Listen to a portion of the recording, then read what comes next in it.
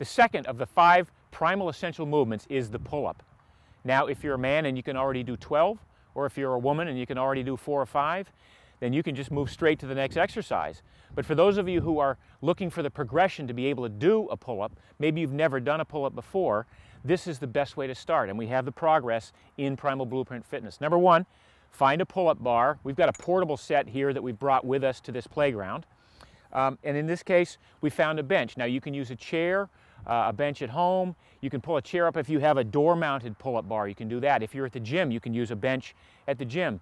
The first progression is simply doing double leg assisted pull-ups and it looks like this. Put your arms a little bit more than shoulder width apart with an overhand grip. Step up onto the chair or bench. Keep your legs bent and simply pull up with your chin above the bar using your legs as little as you can to get through to be able to do 10 or 12. So it looks like this. I'm using my legs as little as possible. I'm putting my chin above the bar. I'm pulling up as much as I can.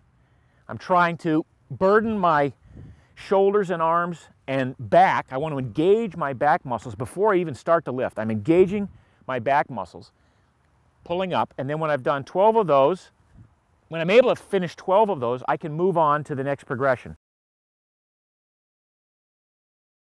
Now the next progression is single leg assisted pull-ups. And in this case, I'm going to move my portable set about 14 to 18 inches away from the bench. Or if my pull-up bar is stationary, I'll move my bench away or my chair away. Again, take my grip, an overhand grip, slightly wider than shoulder width, and just use one leg. I'll let the other leg hang.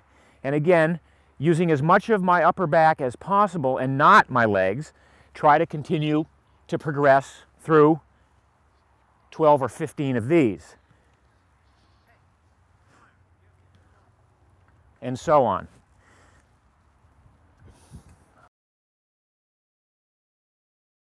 The next progression is reverse pull-ups.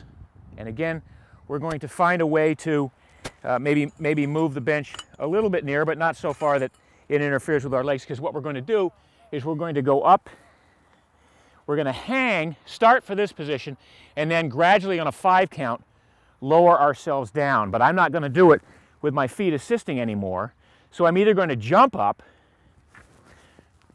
and then lower myself on a five count, or I'm going to walk myself up, either way, if I've got the, and then hold it and lower myself on a five count until I can do whatever's called for, male or female, to get to the next level, and so on.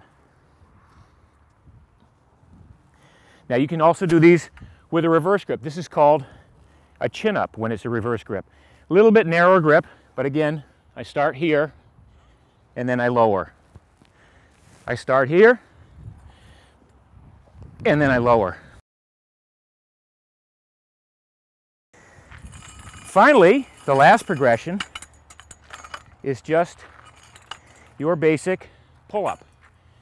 So I'm not going to touch the ground. My legs are not assisting me. I'm going to pull up, engaging my back again, and so on, and so on. And that's the progression for pull-ups.